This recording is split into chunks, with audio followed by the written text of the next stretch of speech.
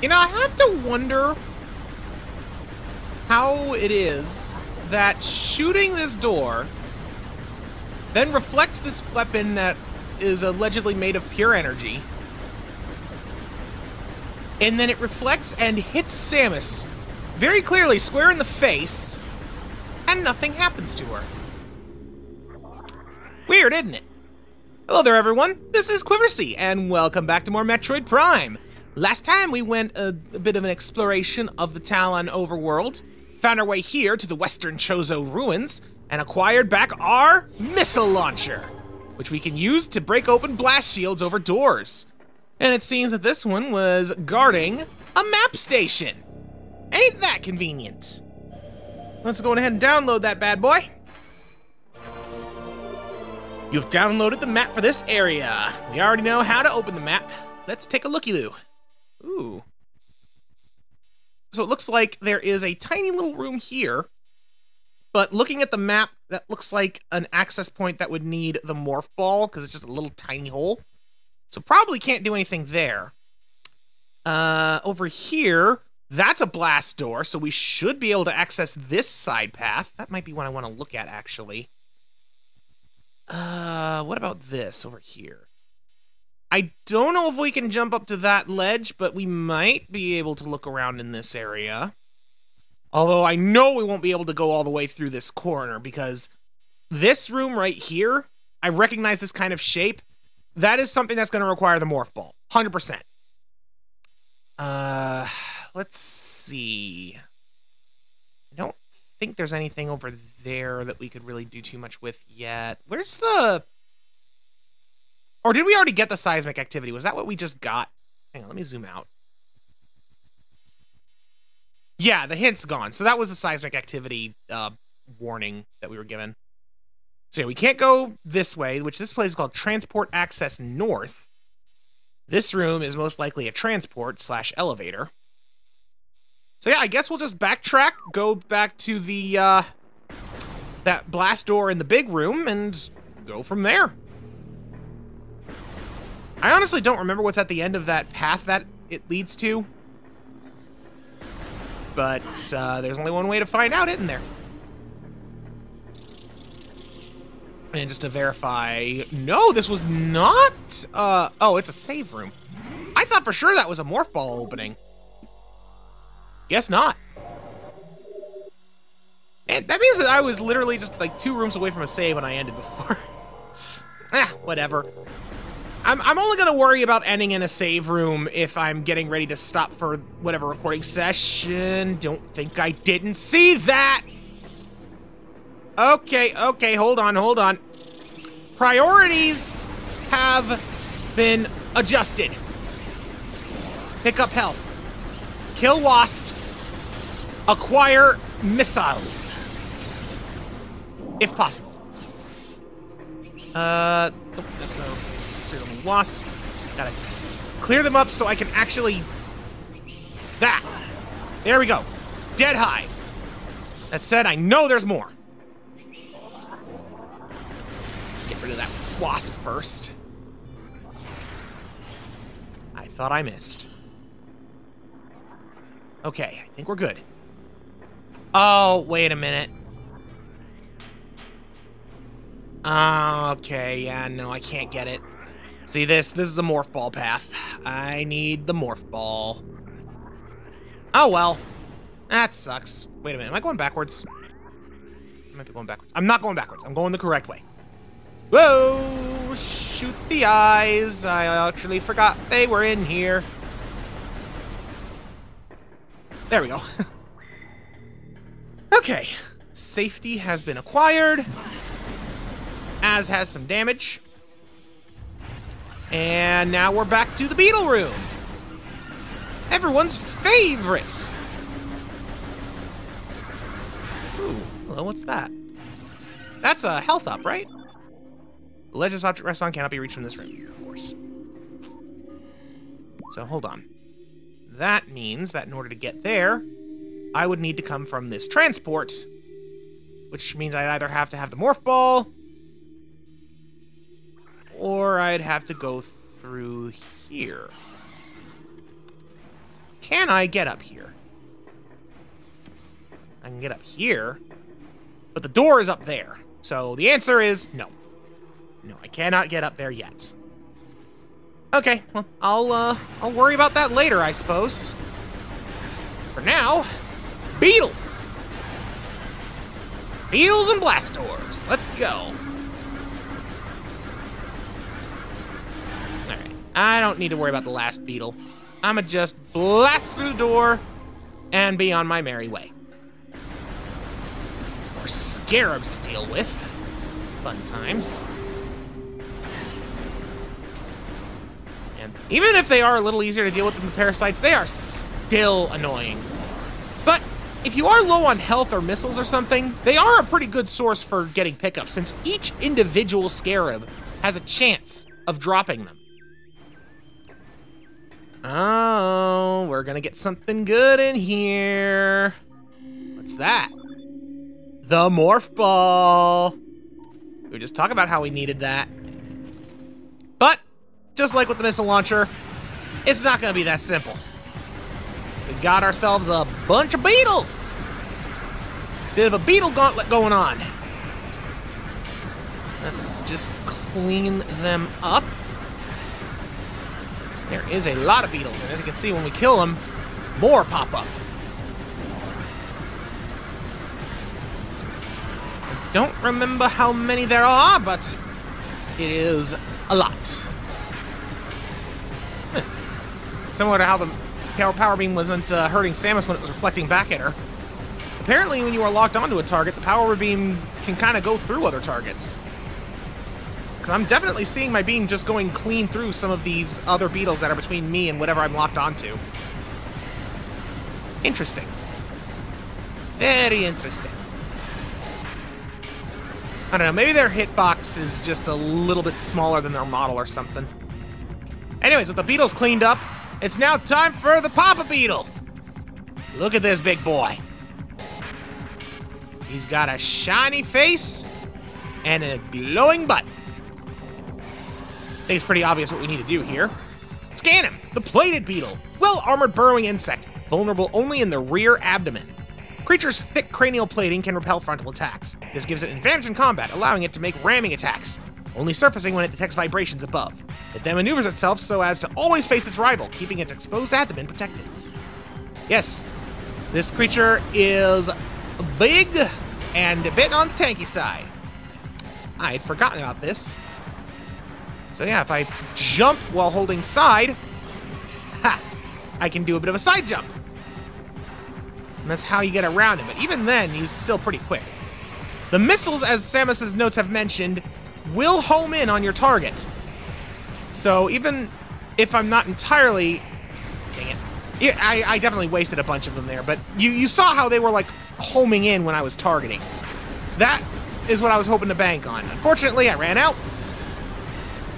So now it's down to just the power beam. And even though this guy is kind of being treated like a boss, he's more like a mini-boss, so we're not getting a health bar.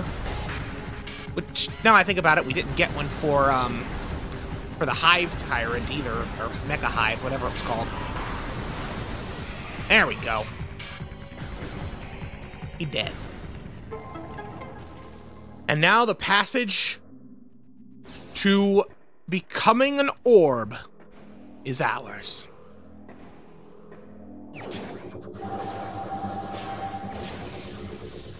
Man, I don't care how flexible you are, that has to be painful.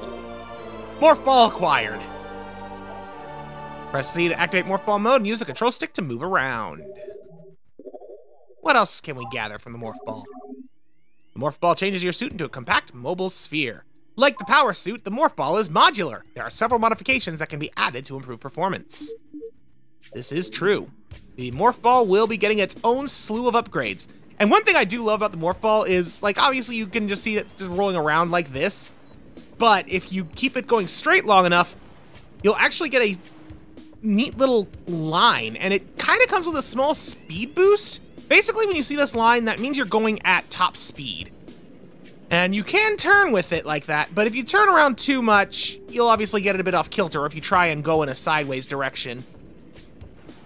At least I'm like 80% sure that you are going faster with that. Anyways, you see these little areas here. Multiple microscopic fractures found throughout sandstone wall section. So this kind of goes into what I was talking about with the missiles earlier with um, Brimstone and whatever the other one was. It's telling me a material type, which means that there is something that can break that material. Unfortunately, missiles cannot destroy sandstone, which is interesting to think about, but don't worry about it. We can also see on the map there is another door with a purple wall, but we can't quite get to it. It appears like it's behind here. So we'll have to come back and deal with that later. Not that we'd be able to deal with the purple wall if we got to it. Why do I keep wanting to push one to Morph Ball instead of C? Anyways, yeah, with Morph Ball, as we have done before, you can go through tiny crevices, and it gives you access to a lot of stuff. Can't really do too, too much with it. There's a couple of Morph Ball paths we've seen that we can't do anything with but those will become relevant in due time.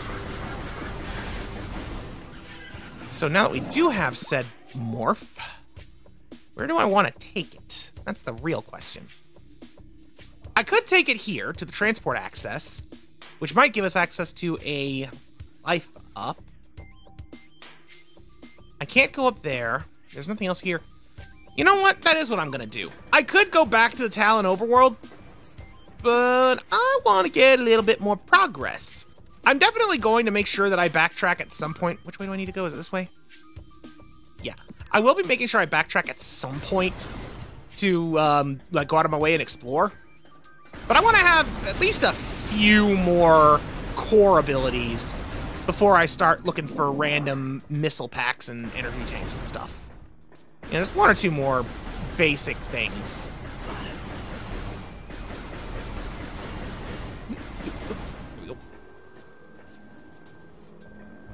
So, similar to what I was talking about earlier, I don't think... Go away, beetles. I don't think we can actually get this. Because while we do have the Morph Ball and we can go in here, we can't actually jump as a Morph Ball. There's no way for us to actually progress through that tunnel. So, we're out of luck there. Uh, anyways, I just kind of want to demonstrate that real quick. So I'm just going to save and I'll meet you back at the... Uh, morph ball path on the other side of where the mecha hive was. All right, here we are. So yeah, morph ball, and we can go into this uh, this little tube, which was marked with something that kind of like a spider web. And now we have ourselves our first little morph ball maze. This one is accompanied with pistons to help us escalate our way through. It's not really much of a maze, but get there again. That's something to expect in the future. I actually really dig Morph Ball mazes. They're some of my favorite things in Metroid games. And here we have access to an elevator. Where does this elevator lead? The Magmoor Caverns North. However, I'm not going there yet. No, I want to go this way. Assuming I can. Ah, another piston. Ah, dang it.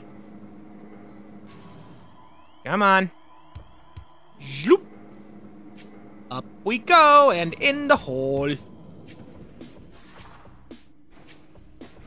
And in another hole. Alright, and another door. Ooh, a puzzle room. But, uh, first things first, lore. The future is a vague thing, ever changing and always in doubt. Even if we Chozo could gain the ability to foresee the future, it would be a hollow gift. For we could never hope to control what is yet to occur. The fountain is an example of this. The day may come when its waters dries up, and there's nothing we could do to stop such a tragedy. But we do know this. Unlike the uncertain flow of water, the power of our will is strong and enduring. The will of the Chozo will never run dry. Philosophers, scholars, but very much proud of what they are. Such is the Chozo. Anyways, the, unfortunately, while I do love the presence of a good puzzle room, complete with a missile prize, we can't actually interact with it. Not yet. We need this.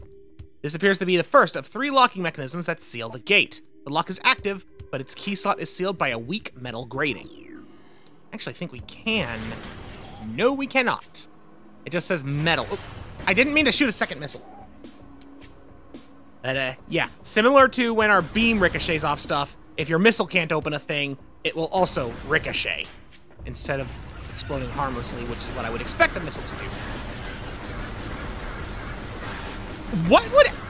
Now I'm wondering, realistically, what would actually cause a missile, like an explosive warhead that is meant to go boom upon impact with whatever it's flying towards at high speed? What would actually cause it to just completely ricochet and bounce off of whatever it hit? I want to know. Because that just seems crazy. I don't know why I'm shooting that wasp. Anyways, we got what I came for. That being, uh, of course, the energy pack. I can't go through this door, can I? This door can only be opened from the other side. Crap! Uh, okay. So the question is, do I go that way and try to explore the rest of here? Do I go here and travel to Magmoor Caverns, or do I go back and check out parts of Tallon 4 Overworld? I think I'm gonna head back here, see if I can't explore more of the ruins, and then go back to the down to the Magmoor Caverns. Give that give that place a check. So uh, I guess I'll meet you back at the transport room again.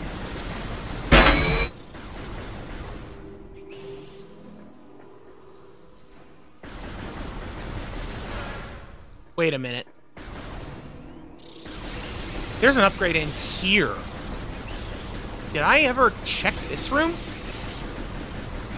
Like, I, I'm hearing a noise, and I don't think I actually inspected this room properly. Get rid of the wasp's nest before I forget. Yeah, hold on. I need to... I need to poke around here.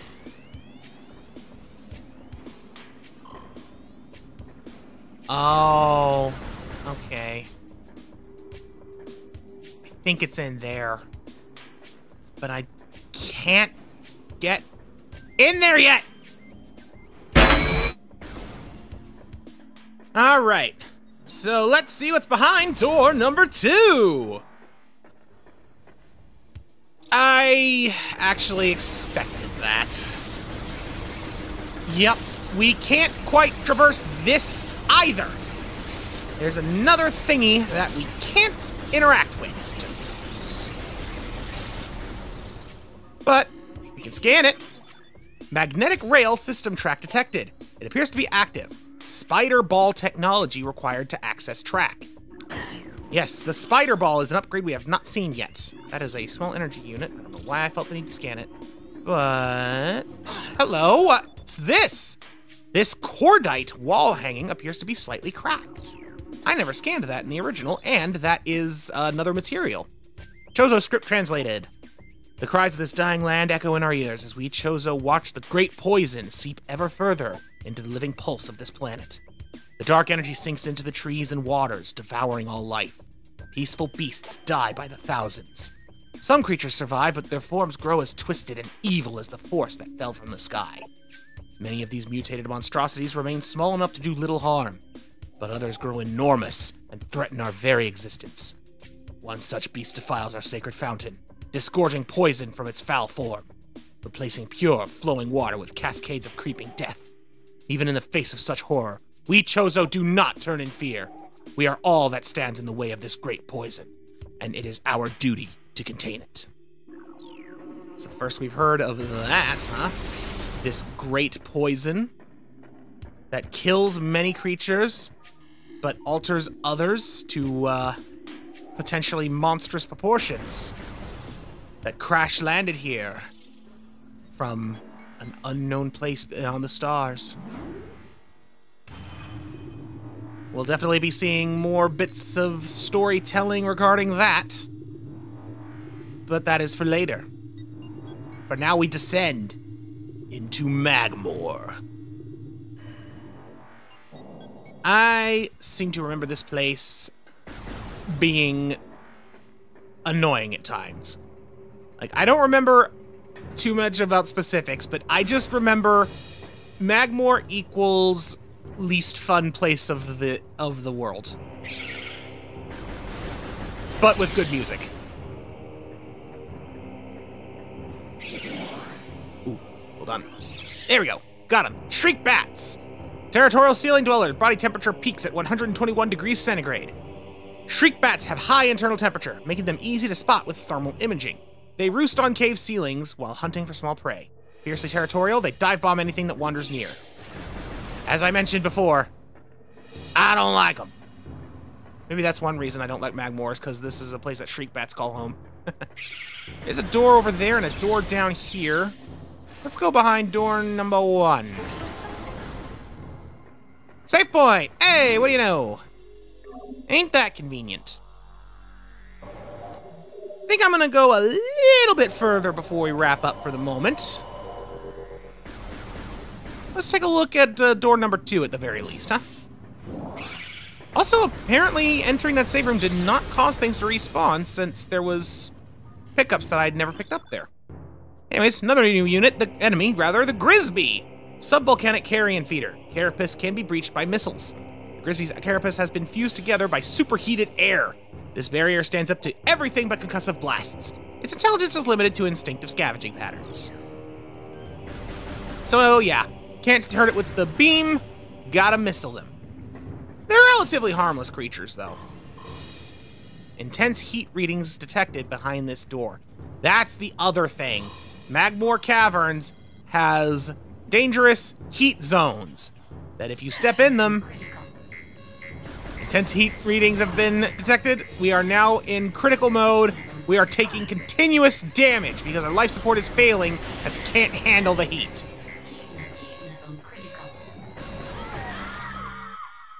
And that's what happens when you let it go a little too far and you die. Life support offline. Game over. I had a strong feeling that would happen, but I wasn't too concerned because we just saved. Well, what that means, though, is Magmoor ain't where we're supposed to be. I thought that we actually were supposed to go through parts of Magmoor, but uh, I guess not. Uh, so I guess with that in mind, I'm going to end things off here. And I think that next time on Metroid Prime, we'll rejoin back in, um, back on the Tallon Overworld, because I can't think of where else I can go, and there's some blast doors there that need blasting. Plus, there's at least one missile pack I know I can get now. Thanks so much for watching. Goodbye.